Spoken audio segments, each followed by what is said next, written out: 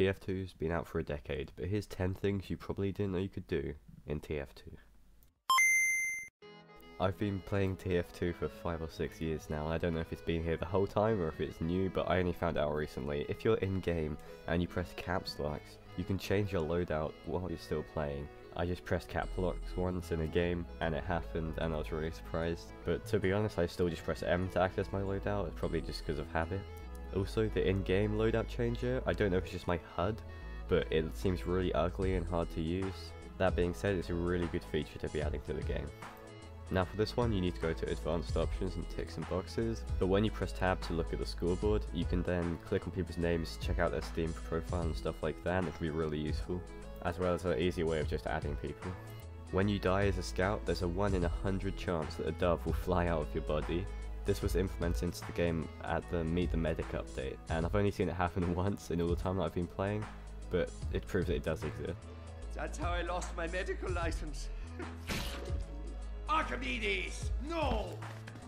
When you're on the normal loadout menu, you can use Control, Alt, Shift, and right click. And if you hold those buttons down while you're moving your character around, you can change the lighting, you can zoom in, you can change the angle and stuff like that. That can be good for if you want to showcase your loadout or the cosmetics you have, which can be really useful for selling unusuals.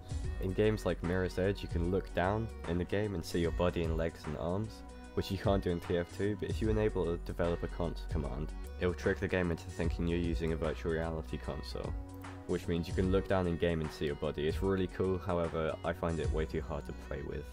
Keep crying, baby! Little, little man!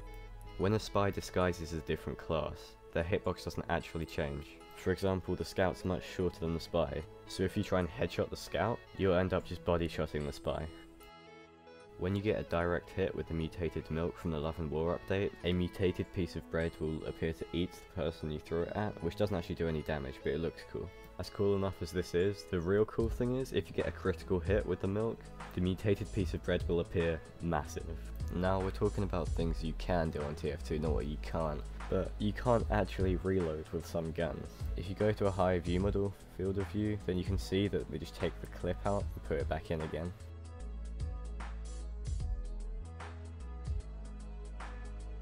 Most people know that you can sentry jump with a fully upgraded sentry in a Wrangler, but you can actually jump with a mini sentry too. Just sit on the sentry, aim up with the Wrangler, jump, and then when you're in midair, fire and you'll go flying.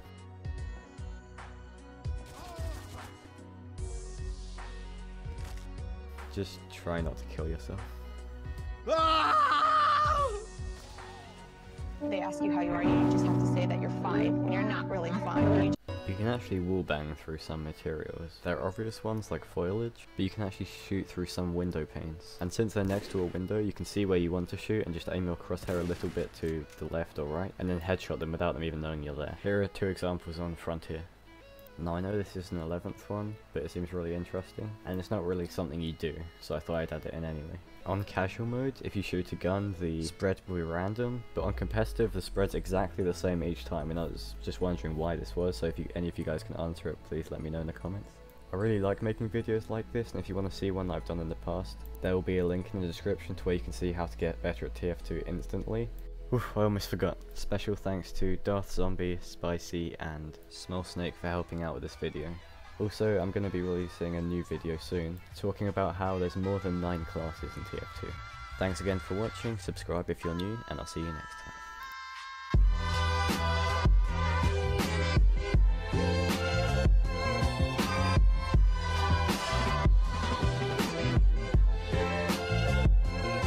I miss the old Kanye, straight from the gold Kanye. Chop up the soul Kanye, set on his goals Kanye. I hate the new Kanye, the bad mood Kanye, the always.